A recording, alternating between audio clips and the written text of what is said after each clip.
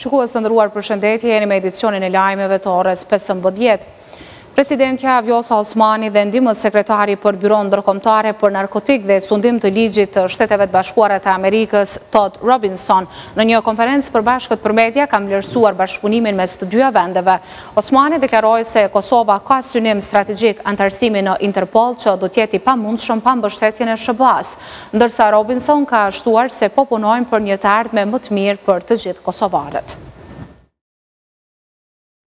Disa nga arritjet më të rëndësishme të institucioneve tona e kanë pikërisht vulën e byrosë që e udhëheq ndihmës sekretari.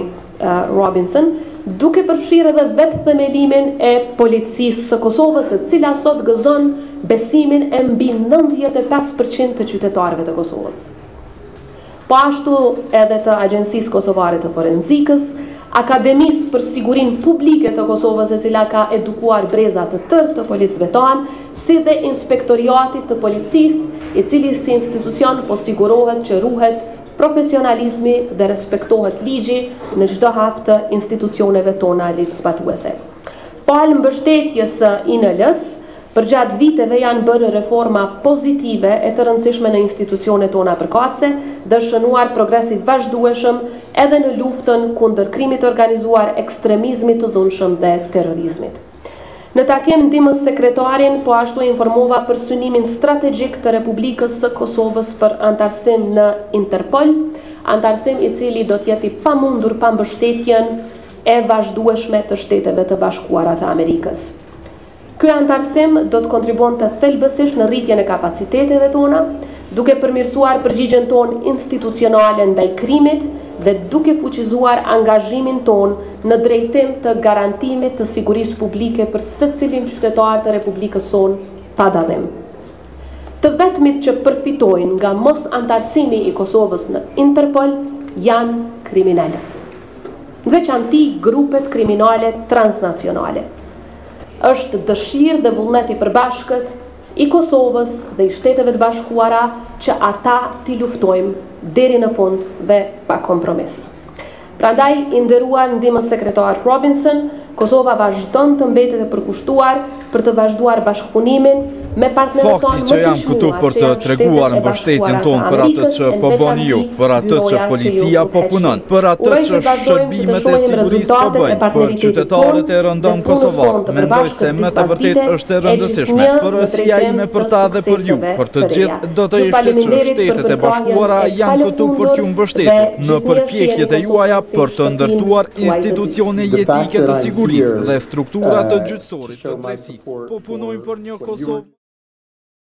Dhe për një Kosovë më të fortë dhe... Fillimisht ju kërkoj falje sepse patëm disa probleme teknike, tani ua përcjell të tjera zhvillime. Zëvendësndihmësi i sekretarit të shtetit Gabriel Escobar thotë se SHBA-ja mirëpret angazhimin pozitiv të Serbisë me NATO-n, por sipas Escobarit, Serbia dhe asnjë shtet tjetër nuk mund t'ua përcaktojë fqinjëve të vet zgjedhjen e aleancave të sigurisë duke iu kundërpërgjigjur kështu një kërcënimi të presidentit serb ndaj Kosovës. Escobar këto qëndrime i dha duke komentuar edhe një deklarim të fundit të ambasadorit amerikan në Beograd, Christopher Hill, që citohet të ketë thënë se Serbia sot është më afër NATO-s sesa Kosova. SHBA-ja mirëpret angazhimin pozitiv të Serbisë me NATO-n, në të njëjtën kohë theksojmë se Kosova ka marrëdhënie të shkëlqyera me NATO-n nëpërmjet KFOR-it dhe me shumë aleatë të NATO-s, përfshirë edhe SHBA-në, tha Escobar. Emisari gjerman për Ballkanin Perëndimor Manuel Sarrazin po qëndron për një vizitë zyrtare në Kosovë. Ai është takuar me rezidencën e ambasadorit gjerman me kryeministrin e Kosovës Albin Kurti. Në takim, siç ka bërë të ditur ambasadori gjerman, është diskutuar për rrugën përpara sa i përket procesit të Berlinit dhe gjithashtu edhe për çështjet aktuale. Shefi i grupit parlamentar të AAK-së, Besnik Tahiri, tha se niveli i raporteve mes SHBA-së dhe Kosovës nuk ka qenë asnjëherë në pikën më të ulët. Sipas tij, këtë e dëshmon fakti që zyrtari i lartë amerikan gjatë vizitës sot në Kosovë nuk është takuar me kryeministrin Kurti. Tahiri tha se kjo po ndodh për shkak të neglizhencës që po i bën qeveria SHBA-së. Cilat vlerësoni ju janë raportet të Kosovë me SHBA-në, këtë rast konkretisht qeveri SHBA? Niveli i bashkëpunimit, respektivisht niveli i raporteve Kosovë, Shtetet Bashkuara të Amerikës nuk ka qenë asnjëherë më i ulët, nuk ka qenë asnjëherë në këtë nivel të komunikimit përmes mediave dhe mbi të gjitha ky raport ka nis që kur është anulu Defender 2023, po vazhdon edhe tash dhe fatkeqësisht është duke shkaktu dëme të mëdhaja Kosovës në gjitha aspektet. Po, zyrtari i lartë sot amerikan zhvilloi takim me presidenten, por jo me kryeministrin. Është kjo si një sinjal që po jepet qeverisë në këtë rast? Në raportet ndërshtetërore, bilaterale nuk ka rastësi.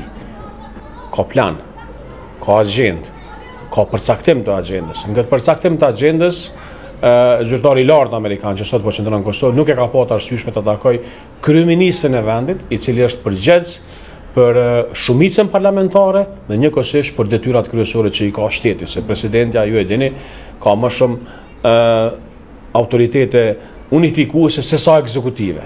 Është një goditje, dhe jo vetëm goditje, po është një mesazh për Kosovën fillimisht, pastaj edhe për kryeministrin Kurti. Ky vjen si rezultat i mosdëgjueshmërisë së këshillave të SHBA-së përgjithësisht të faktorit ndërkombëtar nga ana e qeverisë, apo pse ky nivel i raporteve që ju vlerësoni se është? Ky nivel i raporteve vjen si rezultat i neglizhimit të raporteve me SHBA-n që nga dita e parë. Ju kujtohet se po, po harrojnë qytetarët e Kosovës, ishte ky kryeministër që ë me ironi fliste për Amelika Amelika. Është ky kryeministër i cili e ndali investimin më të madh amerikan në Ballkanin Perëndimor ë nga sjellësit amerikan. Sot ne jemi jashtë rrjetit të gazit falë këtij vendinimi. Është ky kryeministër pastaj që përgjatë gjithë rrugës nuk qëndroi në zotimet e tij në raport me temat që ishin dakordu më herët. Dhe është ky kryeministër i cili fatkeqësisht e ka sjell Kosovën edhe në sanksione ndërkombëtare në këtë rast Bashkimit Evropian dhe na ka ardh puna si Kosovë me ardhë një zyrtar i lartë amerikan në Kosovë, mos me taku kryeministrin. Besoni kjo nuk ka ndodhë as para lufte. Nëtë, kur kanë ardhë zyrtarët e lartë amerikanë, para lufte e kanë taku presidentin Rugova në atë kohë, ka shku, Holbruki ka taku Ushtrinë Çlirimtare të Kosovës, dhe ne jemi janë në një situatë që s'ka shpjegim dhe nuk ka arsyetim. Sa i përket dialogut, prisni të ketë rezultat pikërisht nga ky presion ndërkombëtar që është bërë së fundi qeverisë. Sa i përket dialogut, dialogu Kosovës në këto 3 vjet ju ka bo barrë.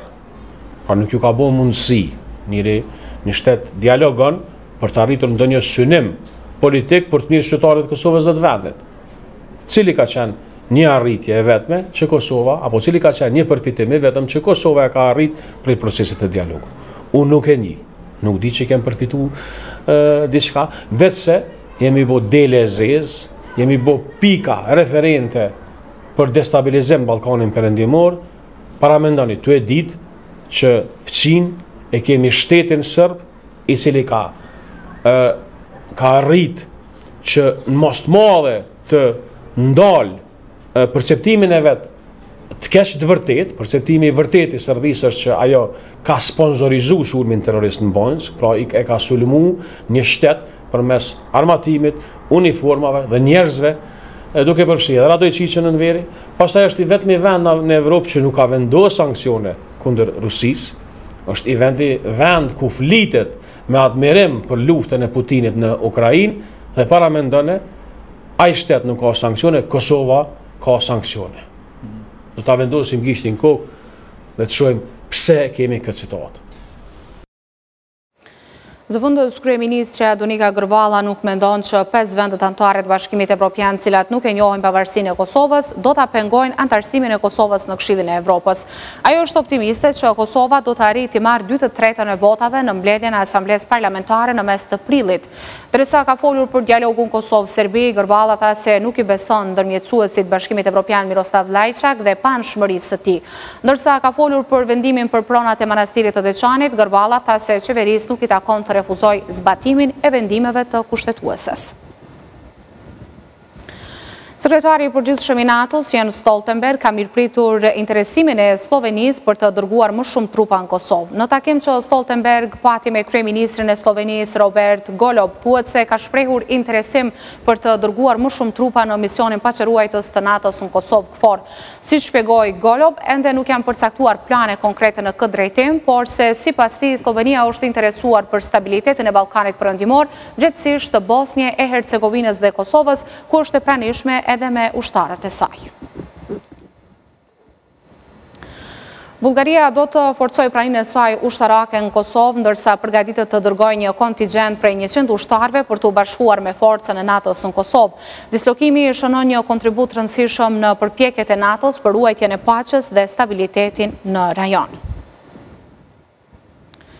Një ditë para dorëzimit të propozimit për çështjen e dinarit, partia në pushtet Lëvizja Vetëvendosje tha se po mundohen që në bashkëpunim me aleatët të gjejë një modalitet që qytetarëve serbë t'ju lehtësohet qasja në pagesat që marrin nga Serbia dhe konvertimin e dinarit në euro përmes bankave komerciale të Kosovës. Opozita ndërkaq fajëson qeverinë që çështjen e dinarit e ka dërguar në Bruksel për marrëveshje apo propozime në të cilat përfshihet edhe Serbia.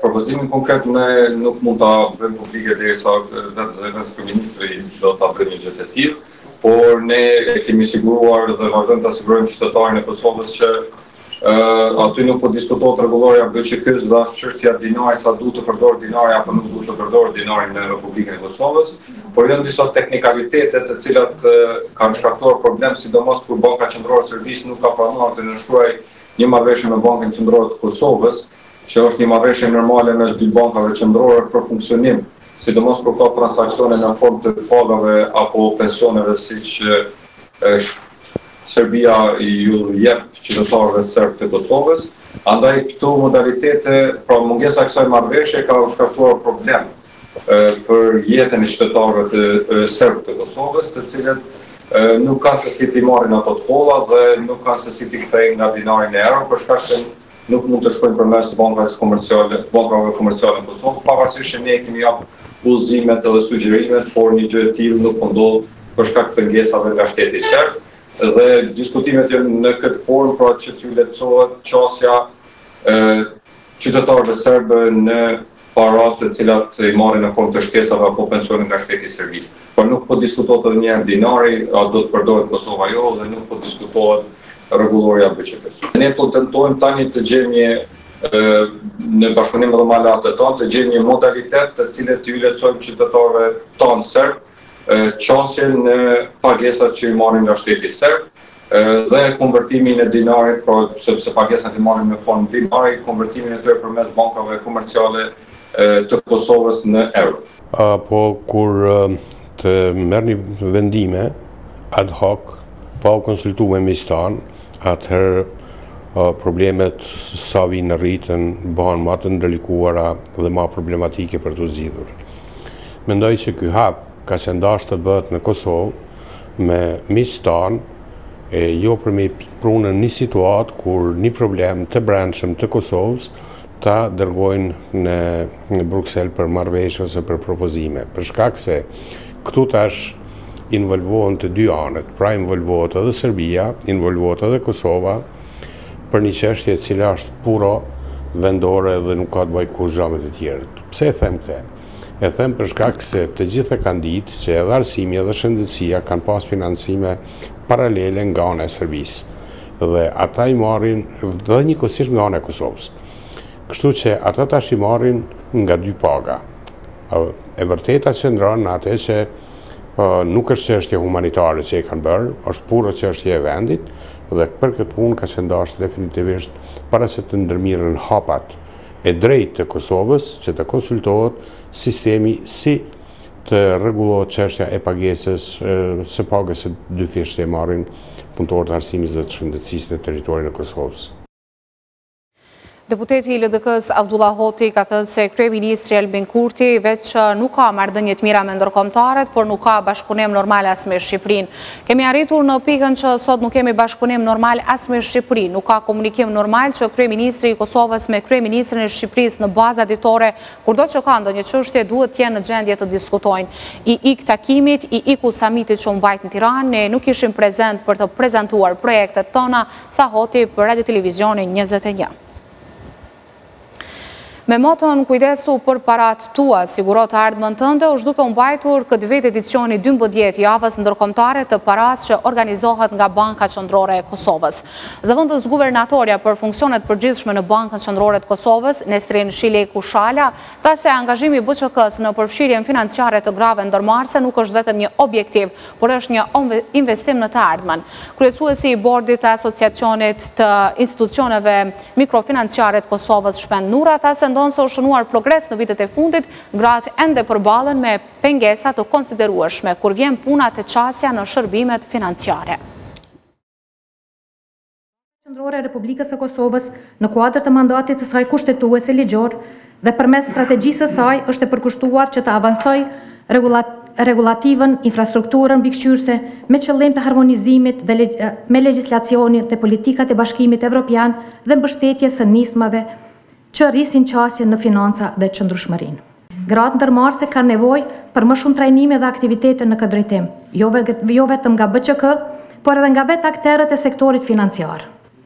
Kontributi i institucioneve të sektorit financiar do të duhej të ishte më i madh në edukimin e grave sa i përket edukimit dhe trajnimit për shërbimet dhe mundësitë financiare, që do të rriste edhe portfoliet respektive të institucioneve financiare dhe do të kontribuonte pozitivisht edhe në shëndetin e përgjithshëm financiar të sektorit.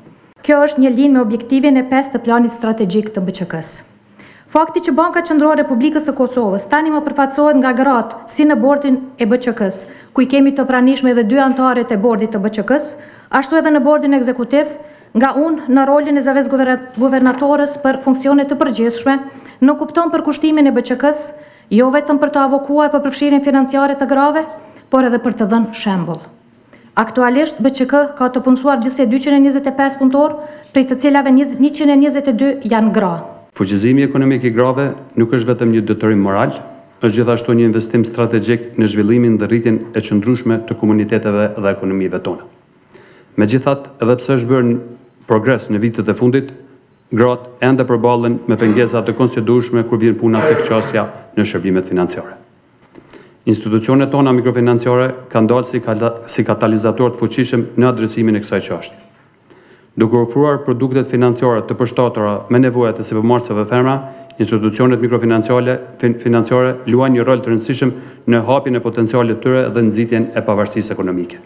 Përmes kredive të vogla, institucionet tona fuqizojnë gratë për të filluar dhe zgjeruar bizneset e tyre, për të krijuar mundësi punësimi dhe kontribuar në prosperitetin e përgjithshëm të komuniteteve tona. Ne duhet gjithashtu të dimë se ka ende shumë punë për të bërë.